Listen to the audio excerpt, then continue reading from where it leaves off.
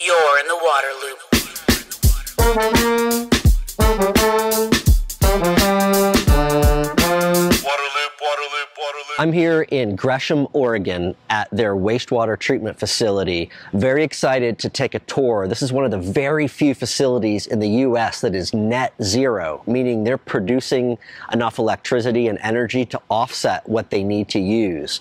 Going to go around and learn how they've made this possible. Waterloop. Before starting, I want to tell you about this episode's sponsor, Flume Utility and Business Solutions. I have a Flume system at my house to track water use in real time and show me what's happening on my smartphone. Flume also provides crucial insights to water providers and state and regional planning agencies, enabling them to conserve water, stop leaks, plan for the future, comply with regulations, and so much more. Flume is partnering with leading water utilities across the country, such as the San Antonio Water System, Orange County Municipal Water District, and East Bay Municipal Utilities District. Flume's nationwide network of sensors collect residential water use data at five second intervals. It provides detailed analysis of how water is used indoors and out, even down to the fixture level. To learn more, visit flumewater.com and please reach out to their team at partnerships at flumewater.com. You're in the water loop. So, Jacob, thanks for having me here at the City of Gresham wastewater treatment facility. I hate saying wastewater sometimes because no water should, is a waste, right? Right, right. But uh, I'm excited to learn about this facility being net zero. Um, could you kind of give the overall summary of, of that and what that means? Here at the City of Gresham Wastewater Treatment Plant, we produce more power than we consume on an annual basis. And we do that through a couple means. So we run cogenerator engines that uh, take the biogas from our anaerobic digestion process and run that through some treatment and then run it through the engines which produce power. On top of that, we also have a solar array at the south end of our facility that produces between 5 and 9% of our annual power consumption annually as well.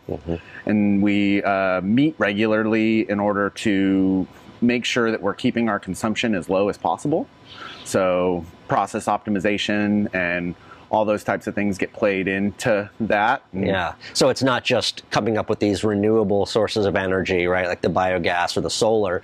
It's energy efficiency and, and everything in your processes. Yes, absolutely. So we've done a lot of projects to do that. Uh, our cogenerator engines also produce heat. And so we utilize that heat in the winter to heat buildings and to uh, heat our anaerobic digestion process. But the real thing that has allowed us to get to our net zero goal was the implementation of our fog program. So what we do is we take fat oils and grease uh, contracting with haulers that pump those out from food service establishments' uh, grease interceptors. And in doing that, they bring it here, they pay us a tipping fee, and they're able to dispose of that on site, and then we get the beneficial reuse. So when you put fog into an anaerobic digestion system, you increase the biogas production of that system.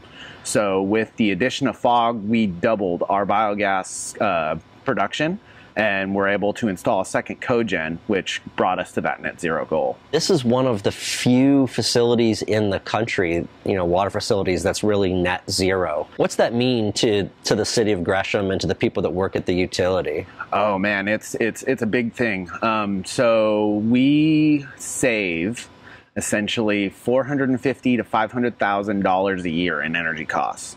So what usually is a huge energy sink for a city in a wastewater treatment facility, we are able to turn that on its head and be a essentially net positive facility there where we produce more energy than we consume and then we don't have to pay a bill for it. Yeah, that's that's huge. Yeah, a, a lot of people don't realize that for a city, for municipalities, like that water treatment piece can be like 30 or 40 percent. I think that's like the national number. Like 30 or 40 percent of a city's energy kind of consumption is from the water treatment piece. So if they can knock that out, that's that's huge.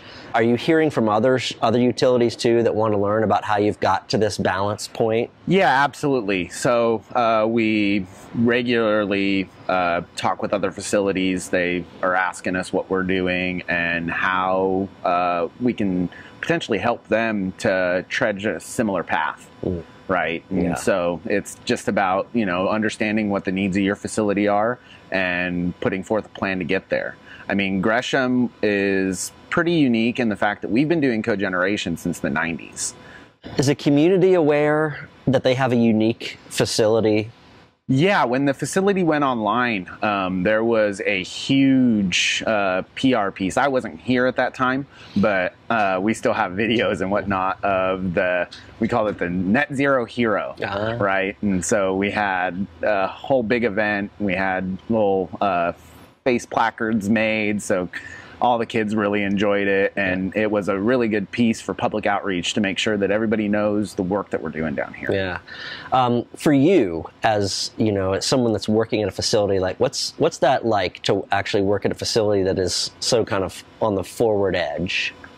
Uh, it's it's great. I mean, we're constantly pushing the envelope, right? So we, we don't just want to rest on our laurels and and accept what we have now. We're pushing the boundaries. We're seeing, you know, because treatment is going to increase. We've got to do more. Um, and so, in order to stay net zero through all this process, we've got nitrification improvements and stuff that we're working towards.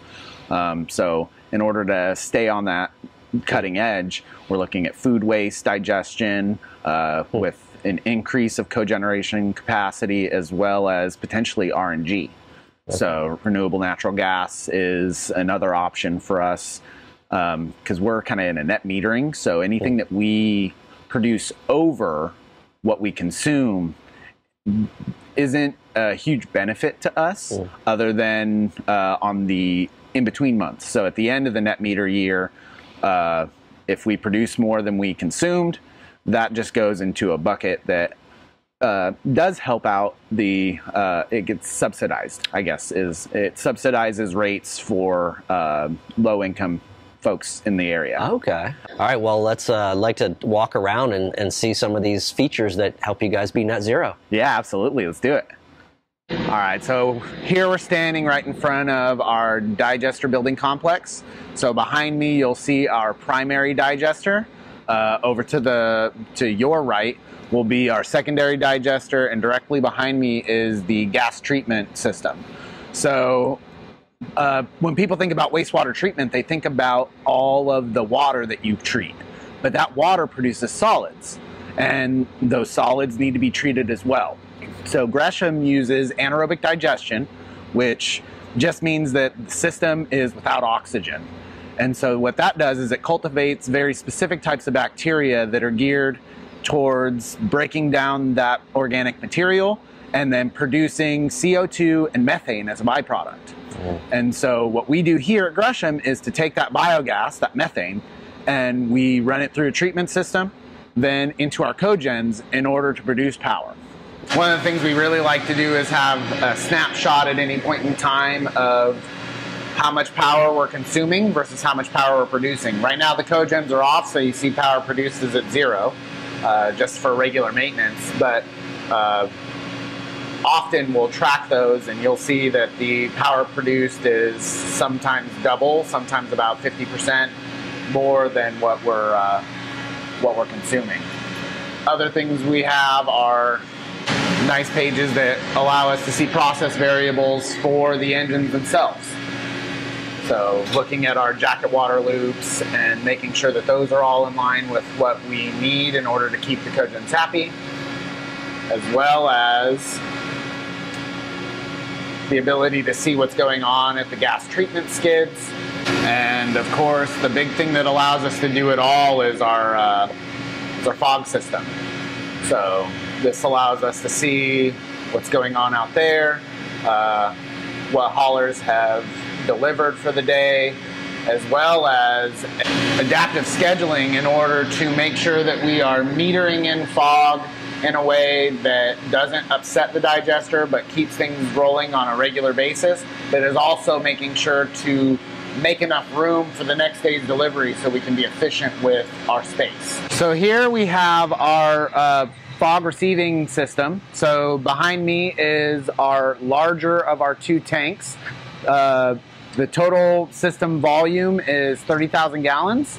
So we have a 12,000 gallon tank that was installed first. This one was installed with phase two, which is 18,000 gallons.